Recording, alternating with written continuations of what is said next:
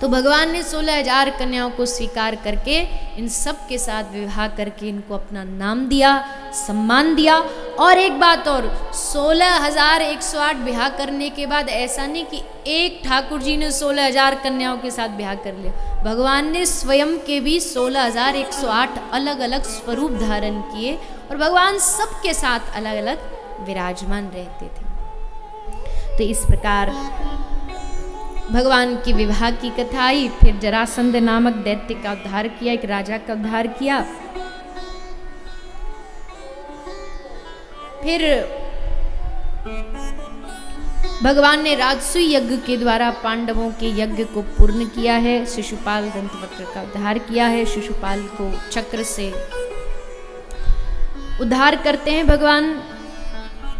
पौंड्रक नाम का एक राजा था इसका भी भगवान ने उद्धार किया, ये अपने आप को भगवान का अवतार घोषित करता था। ऐसे अवतार आज की डेट में भी बहुत सारे भारत में हैं, जो अपने आप को भगवान का अवतार घोषित किए फिरते हैं। स्वयंभू भगवान है वो, खुद के बने बनाए भगवान। दो चार उनके चेले संग लग जाते हैं, जियो, जय हो महाराज, जय हो महाराज, और फिर भगवान साइड हो जाते हैं, भगवान कोने में हो जाते हैं, और वो बन जाते हैं मुख्य। उन्हीं का फ़ोटो गले में, उन्हीं का फ़ोटो मंदिर में, उन्हीं का फ़ोटो घर सब जगह बस वही वही दिखाई देते। लेकिन ध्यान रखना, ये सब आडंबर है। कृष्णम बंदे जगत गुरु गुरु भी गुरु भी ज़रूर गुरुर ब्रह्मा, गुरुर विष्णु, गुरुर देवा, महेश्वर। लेकिन गुरु कभी नहीं कहेगा कि मैं भगवान हूँ। गुरु हमेशा ये कहेगा, मैं भगवान का दास हूँ और तुझे भी दास बनाऊँगा। तुझे भगवान नहीं बनाऊँगा, तुझे भी भगवान का दास बना। वो सच्चा गुरु है। तो संत का मतलब समझे, देवताओं का मतलब समझे, भगवान का मतलब समझ। सबको मिला मत दो।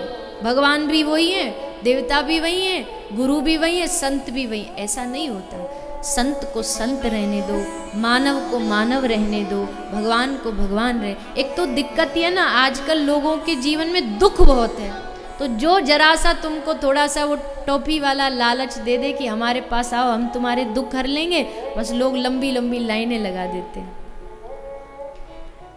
अरे ठाकुर जी कह रहे, कर्म ना जायते जंतु, कर्म ने विलीयते सुखम, दुखम, भयम, क्षेमम कर्म देते भगवान कह रहे हैं, बाबा, इस दुनिया में हर व्यक्ति अपने कर्मों के द्वारा जन्म लेता है। सुख, दुख, भय, सब कुछ उसको उसके कर्मों के द्वारा मिलते कोई तुम्हें ये गारंटी दे, हम तुम्हारे दुख दूर कर देंगे, कोई नहीं कर सकता। यहाँ तक कि भगवान भी कहते मैं तुम्हारे कर्मों के बीच में क्यों आड़े आऊँ?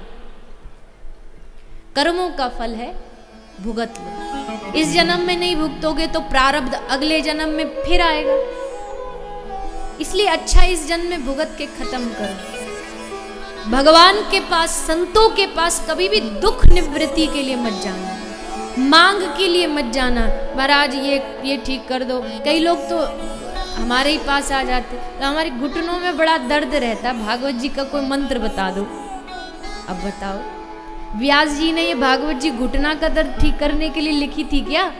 शुगर ठीक नहीं है तो डॉक्टर को दिखाओ। आप चलिए, इतना भी मान लो, आप आशीर्वाद मांग सकते हो कि हमारा स्वास्थ्य ठीक नहीं रहता। आप महापुरुष आशीर्वाद दे दीजिए, थोड़ा स्वास्थ्य ठीक करें अब उसमें मंत्र दे दो, कोई थाबीज दे दो, कोई गंडा दे दो, इससे क्या लाभ? देखो, जिसकी श्रद्धा है, मानो, मेरा किसी पर कोई ज़ोर ज़बरदस्ती नहीं। मानो न मानो खुशी आपकी हम तो यात्री हैं कल अपने घर जाएँगे। जिसको मानना है मानो न मानना न मानो लेकिन मैंने जो गुरु कृपा से सीखा है मैंने जो शास्त्रों से सीखा वो यही सीखा भैया कर्मों पे भरोसा रखो। मत सोचो कौन दुख कौन सुख। अगर ठाकुर जी ने दुख दिया है तो सुख भी देंगे और सुख दिया है तो दुख भी आएगा। अक, अकबर ने एक बार बीरबल से पूछा, एक ऐसी लाइन बताओ जिसको दुख में पढ़े तो खुशी हो और खुशी में पढ़े तो दुख हो. तो बीरबल ने बहुत दिमाग लगाया और लाइन क्या थी? लाइन ये थी, ये वक्त भी गुजर जाएगा। अब इसको सुख में पढ़ोगे तो धड़कन बढ़ जाएँगी ये वक्त भी गुजर जाएगा। कोई भरोसा नहीं। और दुख में पढ़ोगे तो तसल्ली मिल जाएगी। ये वक्त भी गुजर जाएगा। तसल्ली रखो, धैर्य रखो, निकल जाएगा बस भगवान का नाम स्मरण करते रहो। भैया, जो भक्त वैष्णव होता है ना, वो तो बस भगवान के अलावा उसको किसी दूसरे के पास ना अपना भविष्य जानना, ना अपना भूत जानना, कुछ जानने की ज़रूरत नहीं। मेरे ठाकुर मेरे संगे गिरेंगे भी तो वो संभाल लेगा।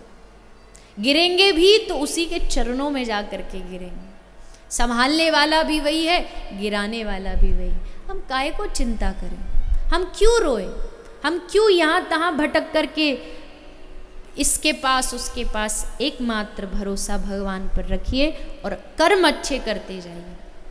ऐसे ही भगवान के एक परम भक्त हैं, जिनका नाम है भक्त सुदामा। सुदामा जी की भक्ति भी ठीक वैसी है जो अभी हम चर्चा कर रहे हैं। सुदामा के जीवन में क्या दुखों की कमी थी? बी। हमारे पास धन, दौलत सब कुछ है। भोजन है, कपड़ा पहनने के लिए है, लेकिन सुदामा, एक एक समय का भोजन पाकर के दूसरे समय भोजन प्राप्त होगा कि नहीं होगा, ये भी भरोसा नहीं था, लेकिन फिर भी सुदामा ने कभी भगवान से कोई शिकायत नहीं की। सुदामा ने भगवान से कभी कोई मांग नहीं की।